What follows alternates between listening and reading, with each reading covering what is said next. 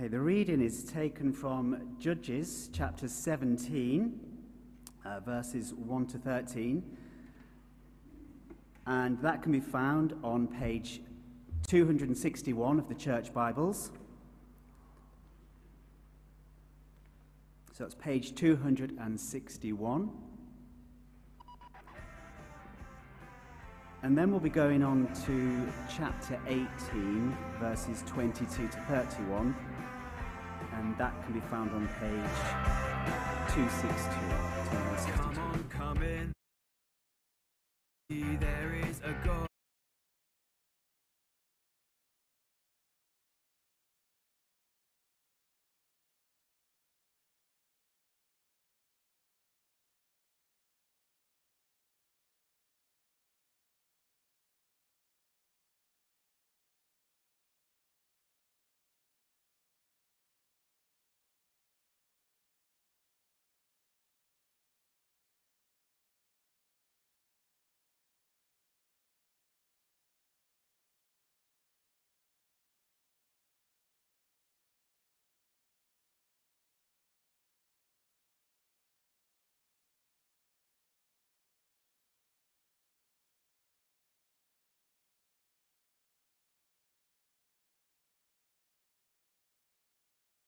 Idol, and they were put in Micah's house. Now this man Micah had a shrine, and he made an ephod and some idols, and installed one of his sons as his priest. In those days, Israel had no king, everyone did as he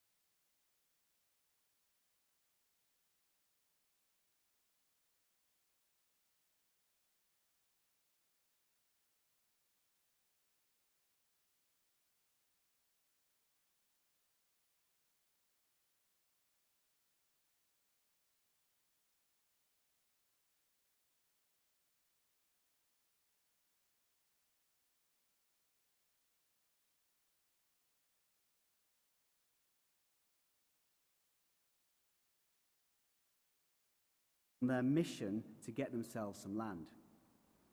And so we resume in chapter 18 at verse 22. When they had gone some distance from Micah's house, the men who lived near Micah were called together and overtook the Danites. As they shouted after them, the Danites turned and said to Micah, What's the matter with you that you called out your men to fight? He replied, you took the gods I made and my priest and went away. What else do I have? How can you ask, What's the matter with you? The Danites answered, Don't argue with us, or some hot tempered men will attack you, and you and your family will lose your lives.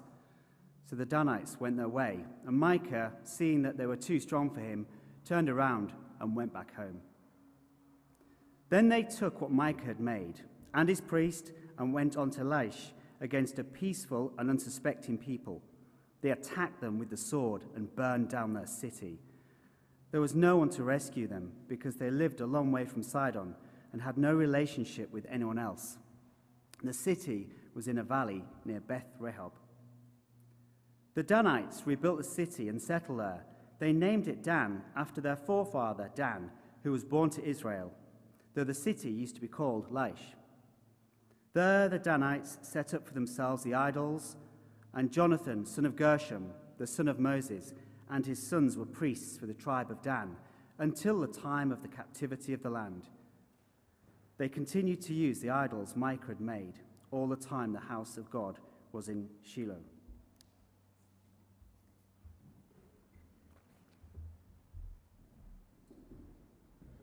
Just to remind you, if you're, oh, hello, if you're uh, in year seven to nine, now's the opportunity to exit. If you don't exit, you'll have to listen to me with the rest of them.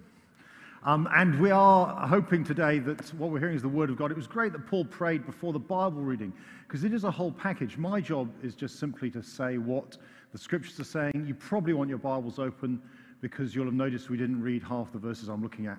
Um, so uh, you want those there as well. Jesus says, The time has come, the kingdom of God is near. Repent and believe the good news. See, Jesus calls us into a kingdom. Uh, Christianity is not the club of God. Christianity is not the philosophy of God. Christianity is not the wellness teaching of God. It's the kingdom of God, and Jesus is the king. So our lives are to declare, Jesus is my king. The church is a group of people gathered together who have Jesus as their king. As the world looks in on the way we treat one another and the way we live, it should see what the whole world would look like if everyone had Jesus as their king. But what happens when the church rejects Jesus as king? When God's people don't live under God's rule as king? Because that's really the issue at the heart of our reading. It's the repeated refrain through these last four chapters of Judges, 17 to 21. Uh, have a look with me. 17, verse 6. In those days, Israel had no king, and everyone did as they saw fit. Or 18.1 and 19.1 both say, In those days, Israel had no king. And then the very last verse of the book, 21 25, in those days, Israel had no king, and everyone did as they saw fit. But of course, Israel does have a king. God is their king, and he's very present among them. It's just that they don't fancy obeying him. So these chapters show us what God's people are like when they don't live with him as their king. Or, if you want to put it to us, these chapters show us what the church is like when we don't live with Jesus as our king. Now, we're entering a new section in our, in our series in Judges, the last one. You might remember back in chapters 1 to 3, we had a sort of political and religious overview of the book, where we were going. Uh, God's people were conquering the promised land, and the Lord had said to them, Look, just trust me, I've got this. But we found that pretty quickly faith was replaced by fear. And we saw also that compromise began to overcome costly obedience. And the result was that the Lord gave the people over to the surrounding nations. It was as though he said, Look, you're so keen on being like the pagans, why don't you try living under their rule for a while and see how that goes? And then from chapters 3 7 through to 16 last week, we meet the judges or the deliverers the rescuers raised up by God to save his people when they cry out to him in pity. Ah, they need lots of judges because they need lots of rescuing. That's because throughout the book we find that really God's compassion leads to complacency amongst the people rather than wholehearted worship. In fact, through the book, as my pretty diagram shows, please all do look at that. It took me some hours to construct. As my pretty diagram shows, the godliness and quality of the people declines. And actually, the godliness and quality of the judges decline, and it mirrors the people. So last week, we met Samson, a seriously buff, womanizing hippie who has a bit of an anger management problem. And he's the guy God uses as a rescuer. Now, chapter 17, then, we zoom in. It's like one of those down to earth documentaries. It doesn't follow on chronologically from chapter 16, otherwise, the priests we meet in this last section will be about 200 years old. No, no it's a, a moving in. What's life like on the ground? This is reality TV, 12th century BC style, and it makes gripping viewing because it is deeply disturbing. It's the tale of two Levites in chapter 17, we meet the first. He's moving from Bethlehem to the hill country of Ephraim. Next week in chapter 19, we'll meet the second. He's moving from the hill country of Ephraim back down to Bethlehem. But, but this isn't a, a chapters on clergy relocation and how to do it. It's about what it's like to live without Jesus as king. So let's dive into Micah and his little idol business. And he shows us that when we reject God as king, here's the first thing we all want our own personal Jesus Christ. We want our personal Jesus Christ. Look at verse 1 of 17 with me. Now, a man named Micah from the hill country of Ephraim said to his mother, uh, The uh, 1100 shekels of silver that were taken from you, about which I heard you utter a curse, um, I have that with me. I took it. Then his mother said, The Lord bless you, my son. Now, Micah hasn't just pinched his, his mother's loose change, he has swiped her entire savings. And the result is she cursed him. Not that she realizes that she's cursed him until he owns up, little darling. And then she blesses him instead and, and gives the money back. And she says to him, I'm going to consecrate some of this money to the Lord. Great. To make an idol. C- can you see the problem with that? Commandment number three You shall not make for yourself an idol in the form of anything in heaven above or in the earth beneath or the waters below. Using money consecrated to the Lord to make an idol is a bit like giving Boris Johnson a framed picture of Sir Keir Starmer to sort of lift his spirits and make him feel better about life. It's worse than that. Not that this troubles Micah.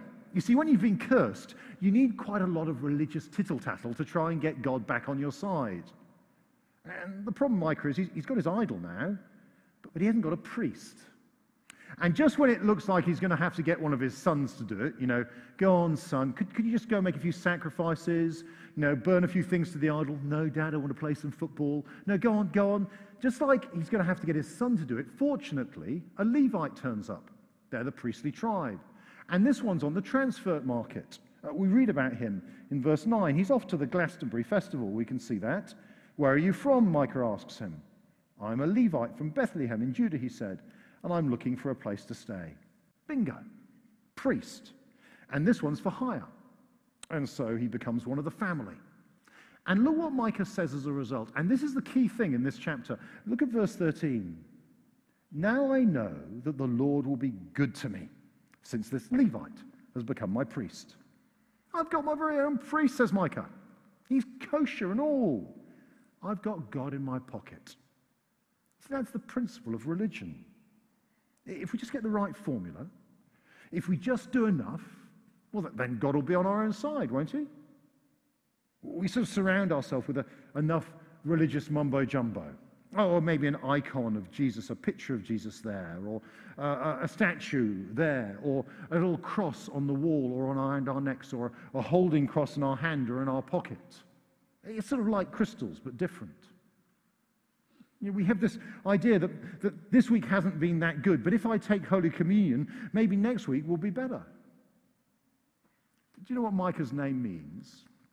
It means who is like the Lord. Uh, and there's supposed to be one answer. No one is like the Lord, Micah.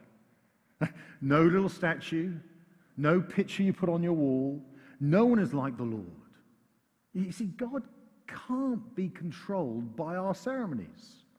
He, he can't be held to ransom by our efforts. But, but in the end, we all want a God we control, don't we? I mean, the job of God, as far as Micah is concerned, is to be good to me. I, I mean, he might have got religion shortly after he felt a bit guilty after swiping mummy's handbag contents, but, but pretty quickly, he starts to act as though he can worship the Lord on his own terms. I mean, he doesn't need to go up to the tabernacle, you know, that tent where the presence of God dwelt, where, where everyone was supposed to go to worship. I mean, that's so inconvenient. Why not get your own priest? I mean, Micah would have watched services entirely online. The problem was he didn't have broadband because, of course, he lived in the hill country of Ephraim. Personalized religion. Micah's got a God who fits in with his priorities, preferably a God who's read his life plan a God who does what he wants. We all want our own personal Jesus Christ. Uh, we live in a culture that screams at us that, of course, you can have the God you want. It's the God of your own design. We're surrounded by remixed, blended religion, and there's a danger we, we bake a God according to our own recipe. Uh, take a, a teaspoon of Eastern mysticism with some mindfulness and meditation. Add 50 grams of Christianity, some forgiveness and some love, and the occasional spiritual experience. Pour in 300 milliliters of 21st century materialism. So that the job that your children get is more important to you than their personal godliness. And last of all, sprinkle on a dusting of the absolute primary command for the 20th century and the 21st century Thou shalt not tell me what to believe or how to behave. And then bake nicely in your head until light and fluffy and you're not overcommitted. And I'm telling you that because, well, that's what I find dwelling in my own heart the gospel of personal comfort. The Christ who makes me feel good about me, who makes my life the way I want. That's Micah's God. And I fear a lot of the time that can be my God as well. I want my own personal Jesus Christ. Jesus, the comfort blanket. Jesus, the divine equivalent of Amazon Prime. And here's the problem. Jesus says this in Mark 8:34. Whoever wants to be my disciple must deny themselves and take up their cross and follow me. Deny self, follow me, says Jesus. It's not the Jesus who helps me to lead my life. No, it's the Jesus who demands that I lead my life for him. We all want our own personal Jesus Christ. The Danites are no better. They show us that when we reject Jesus as king, here's the second thing we're pragmatic with God's word. We're pragmatic with God's word. Look at 18 and verse 1 with me. In those days, Israel had no king. And in those days, the tribe of the Danites was seeking a place of their own where they might settle, because they'd not yet come into an inheritance among the tribes of Israel. So the Danites sent five of their leading men from Zorah and Eshtaol to spy out the land and explore it. Now, the fact that Danites are moving north should set our alarm bells ringing. You see, the Danites were given land by God in the south of the country, but it didn't go too well for them. We read this in chapter 1 and verse 34 the Amorites confined the Danites to the hill country, not allowing them to come down to the plain. You see, they couldn't overcome the Amorites. And so they give up on the land that God has allocated them, and they go off to find some land that might be a bit easier to conquer. And as they pass by Micah's place, they recognize a voice they know. It's, it's the Levite, the priest. This guy clearly gets around. So they decide to ask him, How's it going to go for us? Have a look at 18, verse 5. They said to him, Please inquire of God to learn whether our journey will be successful. The priest answered them, Go in peace. Your journey has the Lord's approval. Do you, notice, what the Levite doesn't actually do? I mean, he doesn't actually ask God. I mean, why would he? He's a Levite after all. And anyway, who wants to pour cold water on the plans of some desperate Danites? Just tell them what they want to hear. So, with a skip in their step, the Danites go and they discover that the land they want is populated by wimps. And fortunately, their reinforcements are miles away. And they report back in verse 9. They answered, Come on, let's attack them. We've seen the land and it's very good. Aren't you going to do something? Don't hesitate to go there and take it over. When you get there, you will find an unsuspecting people and a spacious land that God has put into your hands, a land that lacks nothing. I mean, it, it, all seems so much more divinely ordained than taking on those tough Amorites that the Lord actually commanded them to go and get. Because the Danites have their own pragmatic version of God's word. In fact, they have their own pragmatic version of God. Throughout these chapters, they never use the name that God gave to Moses, the Lord. It's in capital letters in our Bibles. They just call him God because he's their God who does what he wants and does what they want and, and says what they want. Well, just for luck, as they go past Micah's place, they pick up the Levite and the idols. And we read then in verse 21 that the brave, brave Danites put their little children and livestock and their possessions in front of them. That's what you do, just in case of trouble. Women and children go first. Well, the plan seems to work for the Danites. They beat up the wimps, they nick the city that God didn't tell them to take, and it feels so right. It can't be wrong. They even have their own convenient religion at the end of the chapter. In verse 30, we read, There the Danites set up for themselves the idol, and Jonathan, son of Gershom, the son of Moses, and his sons were priests for the tribe of Dan until the time of the captivity of the land. They continued to use the idol Micah had made all the time the house of God was in Shiloh. I mean, why bother going up to Shiloh when you can worship at home? And you notice? The first dodgy Levite we have here is actually Moses' grandson. It doesn't take God's people very long to water down his word and to worship on their own terms. You see, it's tragic when people reject Jesus as king by taking an easier path rather than by obeying his word in the Bible. Oh, it must be God's will, they say. I mean, it feels so good. And look, it's worked out pretty well. But the reason that the easier path feels right is that it's easy. Of course, it feels good. Oh, we had a friend who, for years longed to be married, a, a lovely Christian girl. And, and then a, a, wonderful guy proposed. And he wasn't a believer. And you knew which way it would go. And there was the promise of the end of the loneliness and, and the prospect of children in the future. And when we talked to her a couple of years later, we said, Are you still going to church? And she said, Well, not really. We, we go to chapel sometimes on a Sunday to listen to a concert. I don't think this is a, a problem that affects the clergy. You remember Micah? Micah's priest, he, he didn't bother consulting the Lord before telling the Danites what they wanted to hear. I, I face that issue every time I preach.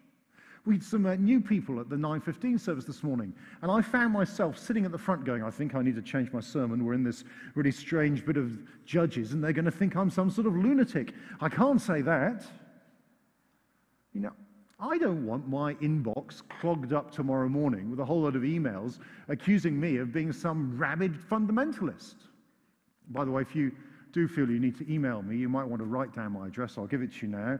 It's matt.bb at stjames.org.uk. So easy, isn't it? I'm tempted to water down God's word and to turn it into palatable lies.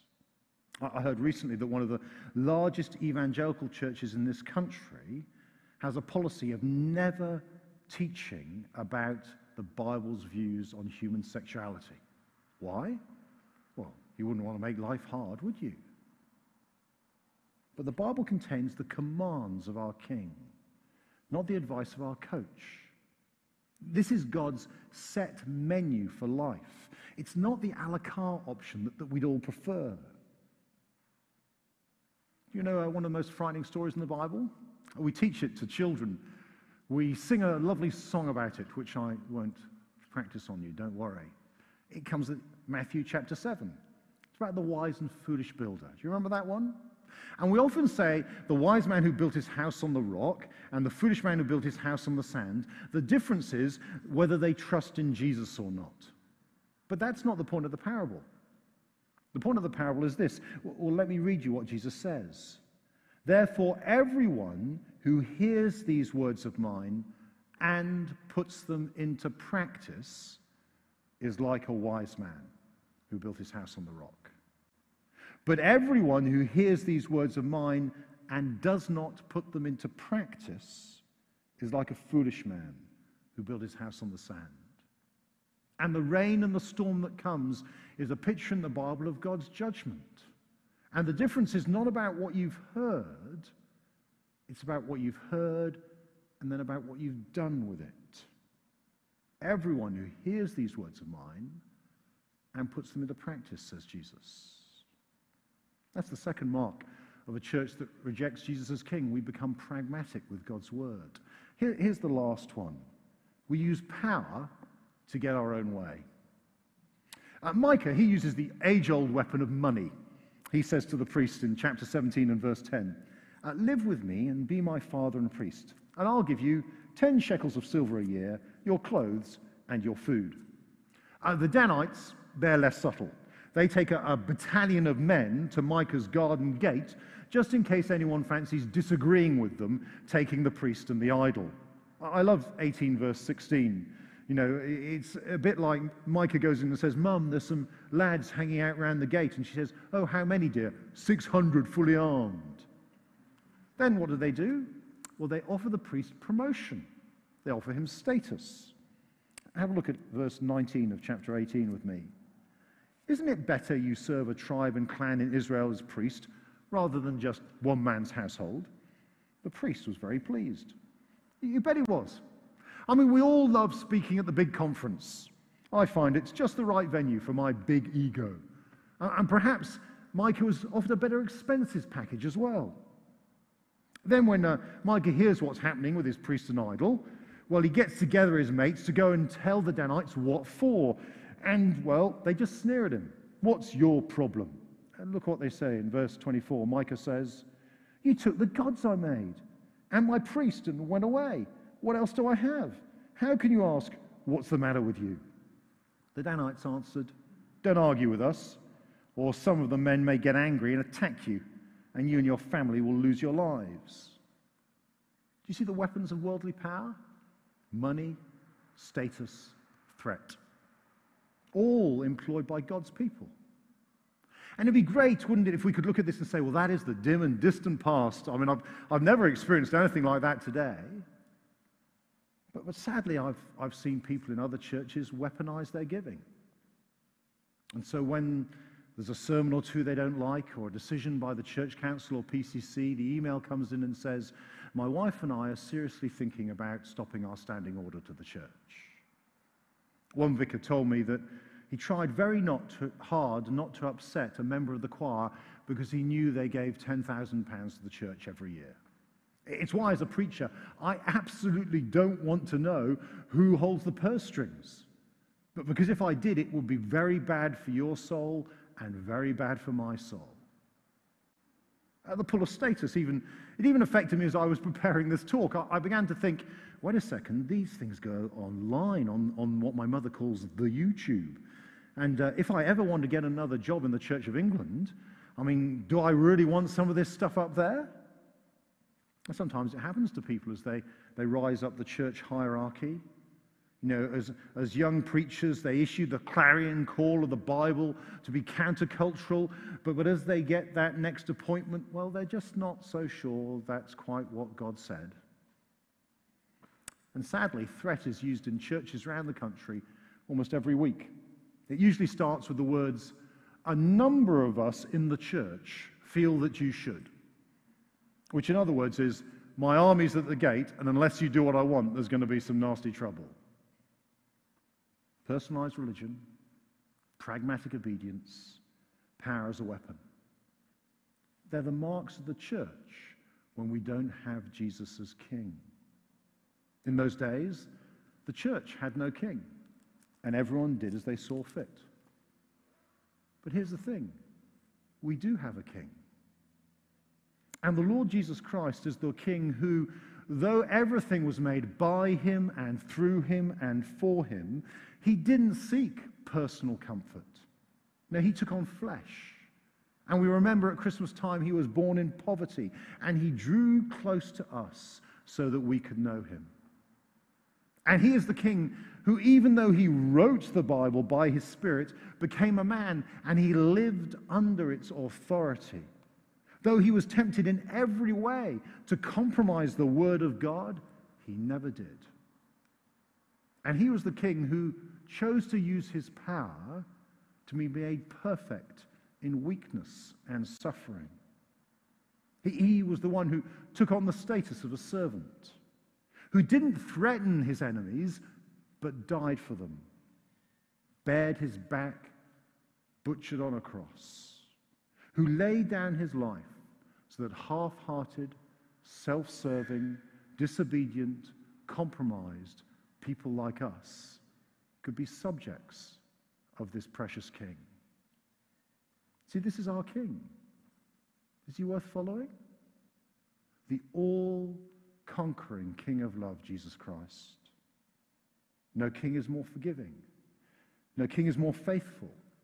No king is more beautiful. This is our gracious king. And he says, Will you live with me as king of all of your life? Will you let me be king in my church? Will you let me be your king? Let's pray together.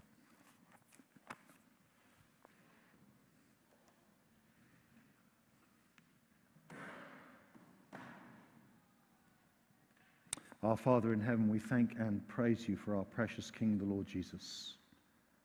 And Lord Jesus, we thank you that even as you went to the cross, you knew what you were taking on in us. You knew the mixed nature of our hearts. You knew the ways that we would be faithless and fail you, yet you went there to die for us and rise again to rule. Please, by the power of your Spirit, would we be a church who every moment of every day, whether gathered together or scattered into our lives, live in a way that says, You are our most precious and beautiful King. And we pray it for your name's sake. Amen.